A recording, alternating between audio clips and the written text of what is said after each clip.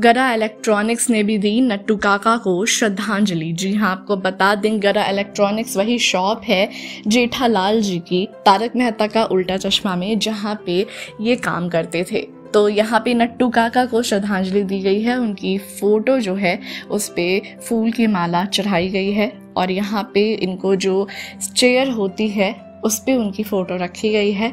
और जो दुकान के मालिक हैं उन्होंने नट्टू काका को श्रद्धांजलि दी है और ये फ़ोटो जमकर सोशल मीडिया पर वायरल हो रही है।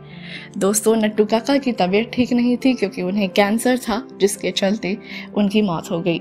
लेकिन आपको बता दें कि जिस तरीके से उन्होंने तारक मेहता का उल्टा चश्मा में अभिनय किया, नट्टू काका का जो उन्होंने किरदार निभाया है, सभी के दिलों में वो बस चुके हैं और वो इस दुनिया में तो नहीं रहे, लेकिन उनकी तमाम यादें हैं जो कि आज भी ज़िंदा हैं।